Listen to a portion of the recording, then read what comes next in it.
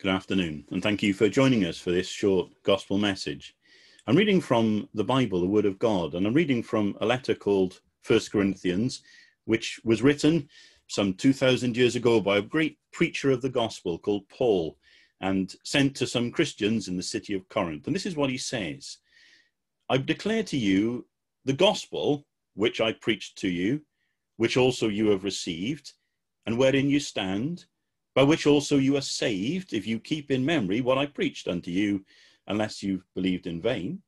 For I delivered unto you, first of all, that which I also received, how that Christ died for our sins, according to the Scriptures, and that he was buried, and that he rose again the third day, according to the Scriptures, and that he was seen of Cephas, then of the 12. And Paul goes on to, to mention some people who saw the Lord Jesus Christ after he was risen from the dead. So Paul is writing to some people who know the gospel already, and he's reminding them how important this gospel message is. Now, I don't know everybody to whom I'm speaking today. Uh, maybe I'm speaking to you and you say, I know the gospel.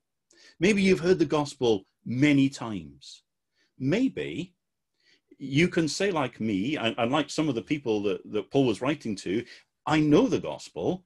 And more than that i don't just know it in my head. I have believed the gospel message.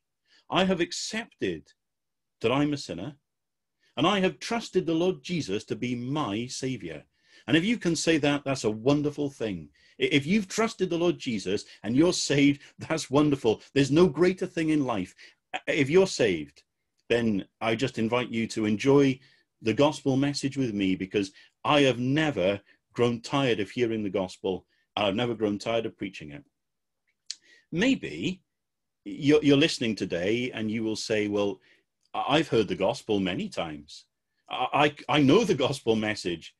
There was a time when I could have told you the gospel, but I had not actually accepted it for myself.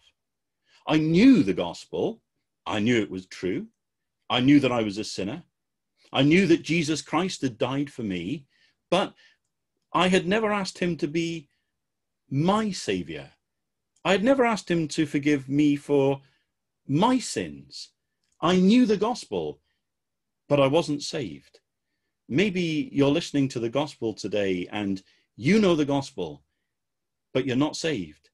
Well, I want to tell you, there will never be a better time than today to trust in the Lord Jesus and to be saved. Last week would have been better.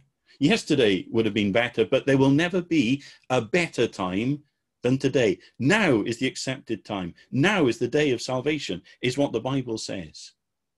Maybe, maybe you're listening this afternoon. And perhaps you've never listened to the gospel message before well, then, thank you for joining us. Thank you for taking the time to hear what God's word has to say. And thank you for listening. And I count it a tremendous privilege to be able to tell you from the word of God the gospel message. This is the gospel message.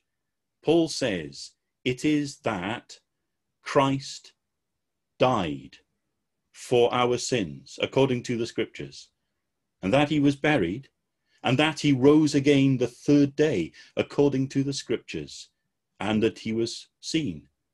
Christ died. The historical event of the dying of the Lord Jesus, how he was nailed by his hands and his feet upon a cross and lifted up to die on the Judean hillside outside of Jerusalem 2,000 years ago at a place called Calvary or Golgotha how the Lord Jesus died is, is recorded in our Bibles. In Matthew's Gospel and Mark and Luke and John's Gospels, they tell us how the Lord Jesus died, what happened, how they nailed his hands and feet, how they lifted him up to die. But the Bible tells me not just the event, not just that he died, but the Bible tells me that he died for us. We have read from the Word of God he died for our sins. See, the Bible tells me this that the wages of sin is death. The Bible says this the soul that sins, it shall die. The Bible tells me that if I sin, I am guilty against the God that made me. I have abused the life that he gave to me in order that I could walk with him by going my own way and doing my own thing. Sin might seem a little thing, a trivial thing to you, to me, but it is a great thing. It is an offense against the God who made us and gave us life. And the Bible says the wage, the just desert, the righteous recompense for sin is death. And that was so from the very beginning. At the very beginning of my Bible, I read of the first man, the first woman, and they were told that if they sinned, they would die. And when they sinned, they died. They died spiritually. They were separated immediately from God. And ultimately, they died physically because sin brings death. But the Bible tells me of one man who lived in this world and did no sin.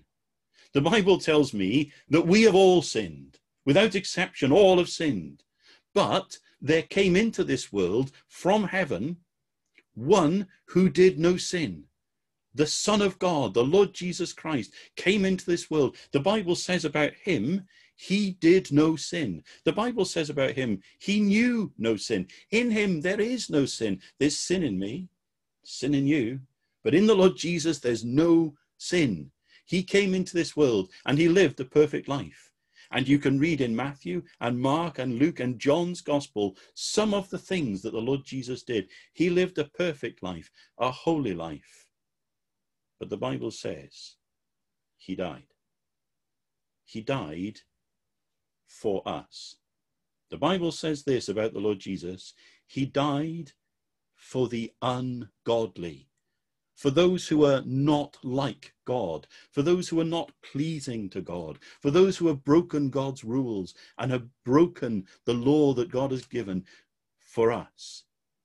The Bible says this that Christ died for the ungodly, and it says this that even when we were sinners, God commends his love towards us, that while we were yet sinners, Christ died for us. The Bible says this again that this is the love of Christ, the love of the Lord Jesus.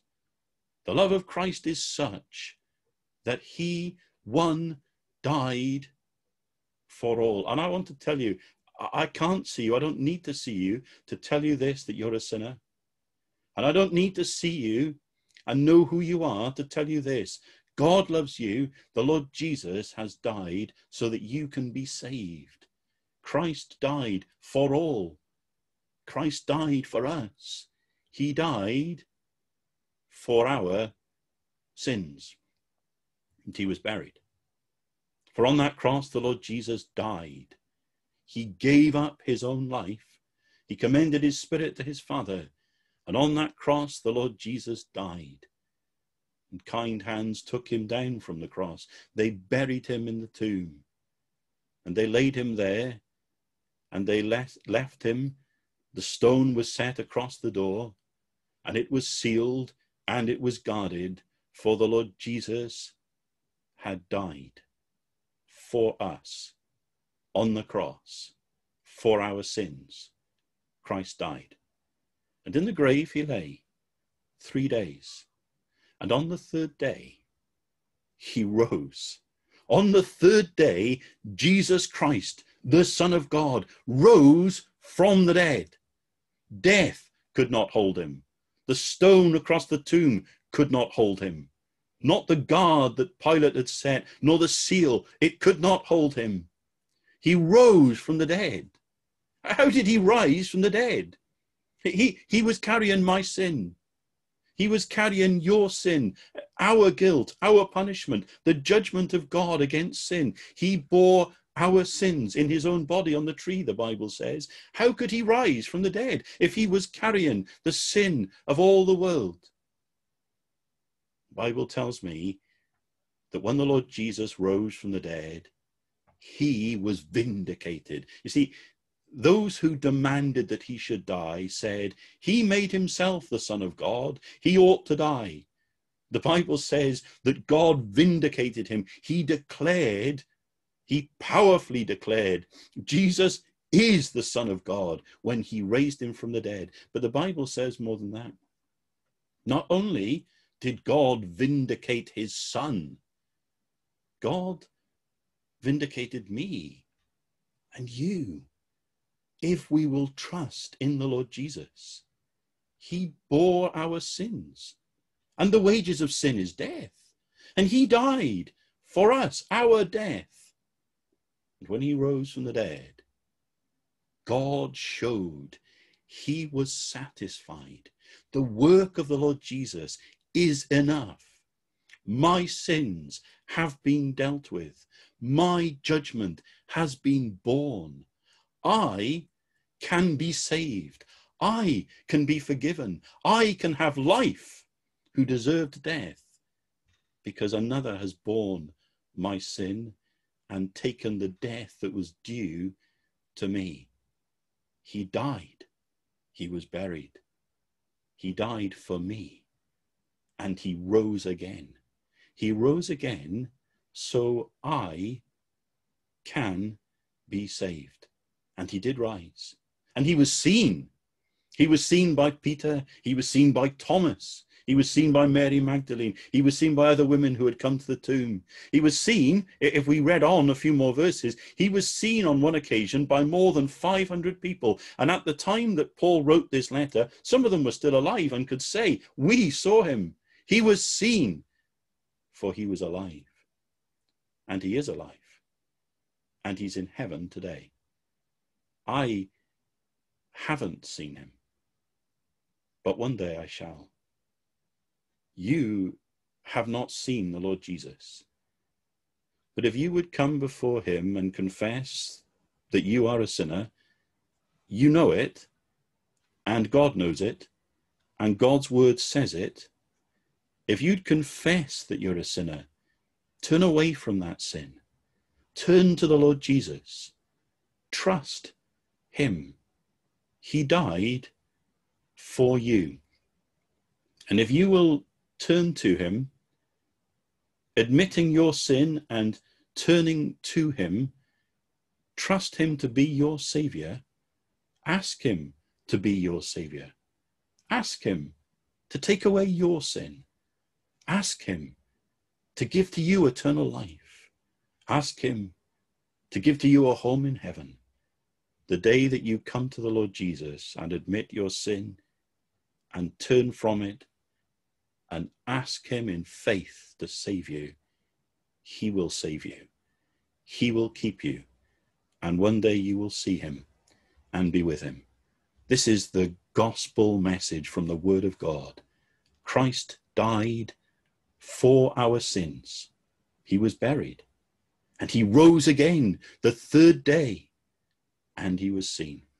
God bless you, and thank you for listening to the short message of the gospel.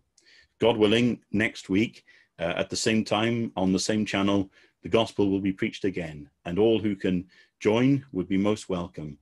But don't leave to next week to trust in the Lord Jesus and to be saved. Thank you.